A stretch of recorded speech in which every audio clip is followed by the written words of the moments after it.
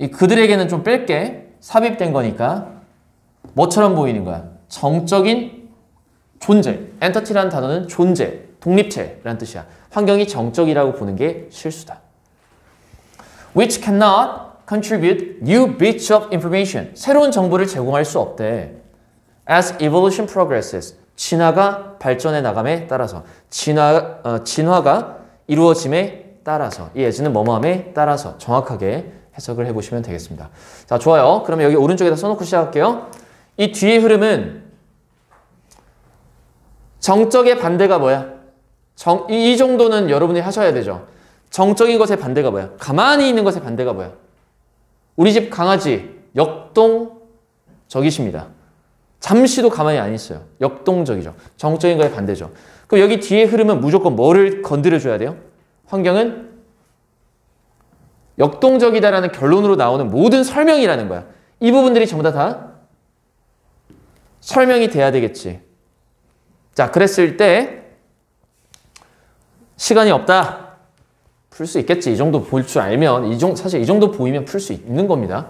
못 푸는 게 이상한 거예요. 저 이게 첫 문장 읽고 나서 저거 생각해 줄 정도면은 사실 국어도 1등급이고 영어도 1등급일 텐데 중요한 거는 여기서부터 여기까지의 정답의 근거는 역시 저거를 건드려 주느냐, 안 건드려 주느냐. 1번 보자. challenges, 어려움, 도전. 아, 읽어볼까? far from being static. 정적인 것에서, 정적인 것에서 far, 멀리라고 얘기하고 있어.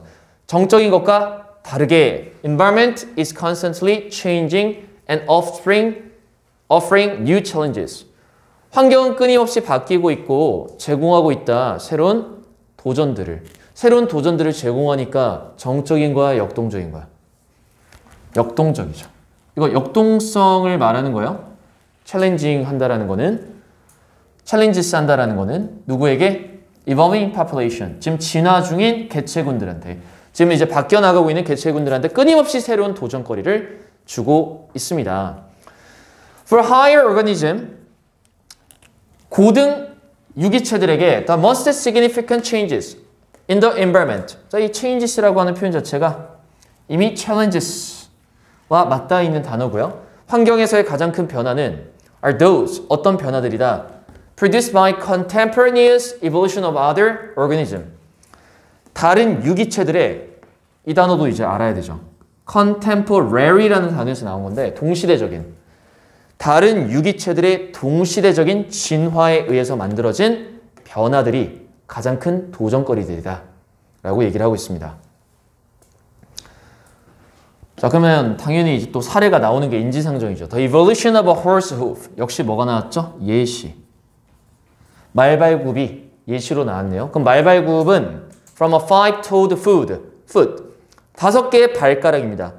어, 다섯 가지의 엄지, 그 toed는 뭐야? 발가락이 만들어진 발이죠. 쉽게 말하면 다섯 발가락입니다. 다섯 발가락에서 말발굽이 진화했는데 has enabled 가능하게 했습니다. 말이 질주하게끔 갤록 질주하게끔 엄청나게 빠르게 탁 트인 평야들 위에서 하지만 such galloping is of no advantage.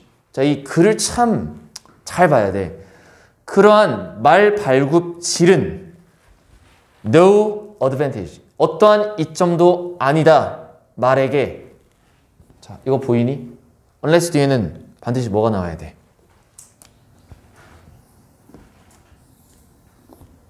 연결이 되는 거 눈에 보이시지?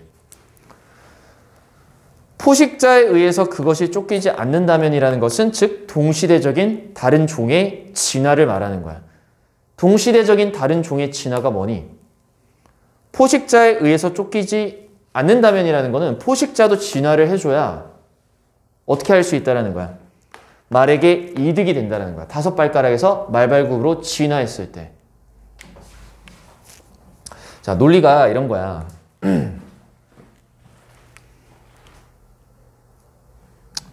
봐봐. 환경은 역동적이라 그랬지? 그러면 이 환경이 역동적이라는 것을 우리가 설명을 해, 아, 설명을 왼쪽에다 쓸까? 자, 설명을 해 나가는 방법이 환경이 역동적이다라고 직접적으로 얘기하는 방법이 있고 아니면은 여기서 좀 더 추가 설명을 좀 더 깊이 들어가서 예시를 썼잖아 지금. 예시에 뭐가 나왔어? 말 발굽이지. 말 발굽은 뭐가 없으면은 포식자가 없으면 이득이 되지 않는다라는 거잖아. 그럼 이 말을 거꾸로 하면 어떤 얘기야? 포식자가 생겼기 때문에 말발굽이 효용 가치가 있다라는 거야. 다섯 발가락이 더 편해, 얘들아. 왜? 물건을 집을 수 있잖아. 그러니까 말은 말발굽을 가지면서 뭐를 포기한 거야? 물건을 짚는 능력을 포기한 거잖아. 뛰는 거에만 몰빵한 거잖아. 능력치를. 그러니까 포식자가 없으면 이득이 되지 않는다라고 얘기를 할 수가 있는 거야, 지금. 자, 볼래? 저 말 자체가 환경이 역동적이랑 왜 똑같냐면 환경이 역동적이라는 거는 동시대적인 진화가 만들어낸 변화들이야말로 환경의 역동성을 직면하는 거라는 거야. 환경의 역동성을 직면하는 과정이 환경이 끊임없이 종들한테 도전거리를 주고 있다 그랬잖아. 그 도전거리가 뭔데? 바로 포식자가 된다라는 거야. The horse's efficient mechanism for running would never have evolved except for the fact that the meat-eating predators were at the same time evolving more efficient methods of attack. 자, 얘도 마찬가지지.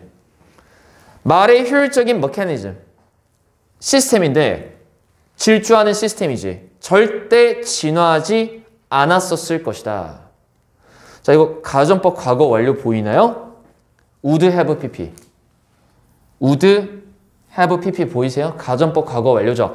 절대 지나지 않았었을 것이다. 그리고 이 except for는 뭐랑 동일한 거야? without이랑 동일하단 말이야. 뭐가 없었다면 당연히 이 the fact는 우리가 충분히 추론 가능하지. 동시대의 다른 유기체, 동시대의 다른 유기체의 발달. 읽어보면 똑같지?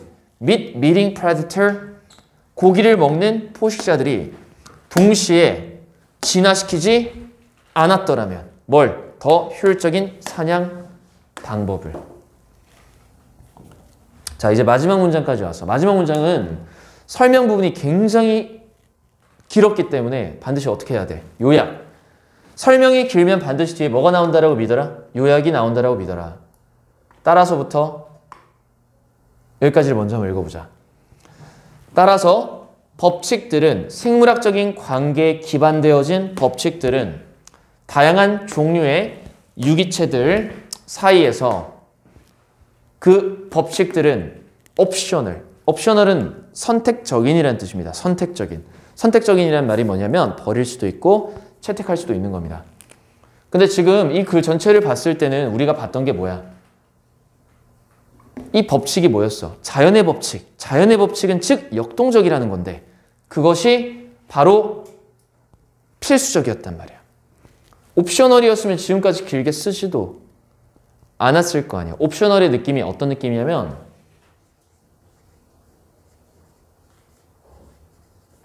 secondary라는 표현이 있어. secondary가 뭐야? 부차적인, 중요한 게 아닌 prime이라는 표현을 썼으면 으뜸으로 중요하다는 의미인데 optional이라고 했으니까 그렇지 않다라고 했으니까 이 글 전체에 요약 부분을 망쳐놨다고 우리는 지금 충분히 설명을 통해서 환경의 역동성이 중요하다라는 거 충분히 우리가 느끼고 왔는데 갑자기 optional이라고 했으니까 안 되겠지. 그리고 마지막 Understanding Evolution, Diversity of Life 진화를 이해하고 삶의 다양성을 이해하는 데 있어서 to which it has given rise to. 자, 이것도 잘 봐. to는 어디서 왔어? 어, 여기서 왔죠? 그러면 give rise to가 뭐랑 동의어예요? cause랑 동의어죠? 유발하다. give rise to. 유발하다라는 뜻이죠. 그것이 유발했던 삶의 다양성. 자, 질문. 여기서 it은 누굽니까?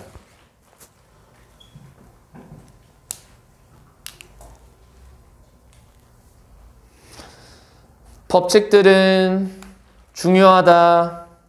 진화를 이해하고 생명체의 다양성을 이해하는데 그것이 유발시켰던 왜 데이라고 안 쓰고 이시라고 썼을까?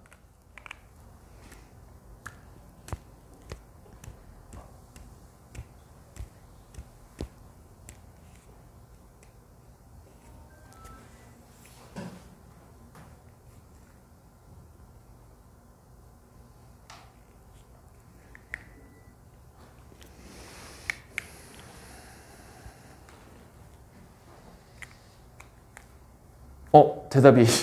나도 찾고 있는 중. 어. 이런 거 우리 궁, 궁금해 해봐야 돼. 뭘 것 같아? 혜림이가 한번 도전? 도와줘봐. 틀려도 돼. 나도 모르겠어. 25죠? Mother Nature입니까? Mother? 엄마 자연?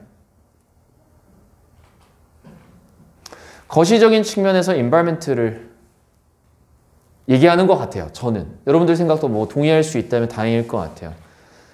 근데 it has given rise to는 일단 기본적으로 생명 다양성과 진화에 대한 이해 즉 누가 준 거야? 다양성과 진화를 자연 환경이 준 거잖아. 그러니까 맥락상 it은 mother nature environment를 말하는 거라고 치고 넘어가도록 합시다. 자, insight 가볼게요. insight는 아까 통념 반박이었다는 거. 근데 이제 어휘로 가니까 어때? 주제 찾는 거였으면 아까 끝났지. 근데 어휘니까 통념 반박의 설명 부분들을 이해하는 과정이 더 핵심이었다라는 거야. 그래서 처음부터 과감하게 동사, 명사, 이거 어택은 동사로 봐야 돼 사실은. 그 다음에 형용사까지 내려왔습니다. 근데 이거 요약이니까 반드시 뭐랑 똑같아야 되냐면 마우스 어디 갔어? 자, 여기다 두고 왔구나. 여기. 이 문장으로 끝나야 돼요. The environment is constantly changing and offering new challenges to evolving population으로 끝나야 되는 거야. 그러니까 당연히 옵셔널이 아니라 이 법칙들이 지칭하는 게 뭐냐면은 환경은 끊임없이 바뀌고 새로운 도전거리를 준다라는 말 자체가 로스로 지금 압축이 된 거니까 당연히 로스는 중요하도록 끝나야지. 지금 무슨 장난질을 하는 거야? 그러니까 이거 이런 거는 이제 너네한테 어떤 의도인지 알겠지. 단어 아니? 그러니까 이 글의 흐름이 아니라 뭐를 물어보는 거야? 너 옵셔널이라는 단어 의미 뭔지 아니? 그러니까 9월이니 6월이니 이거. 어, 평가안이라고 해봤자 수준이 굉장히 떨어진다는 거예요. 출제위원들이.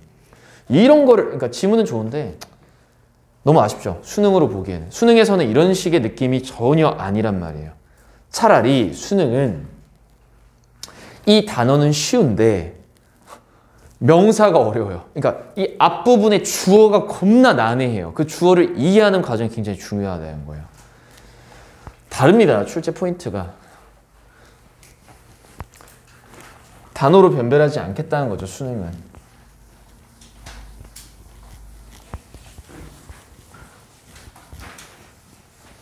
그냥 이해 안 가면 많이 풀어보시면 돼요.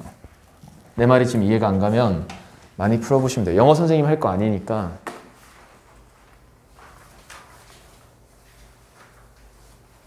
자, 우리 4분만 쉬었다가 4분부터 하도록 할게요. 4분만 쉽시다. 그리고 현영이 오늘 몇 시까지 가야 돼? 여기서 몇 시에 나가야 돼? 어, 몇 시에 나가야 돼? 그것만 알려줘. 4시? 4시? 어, 알았어.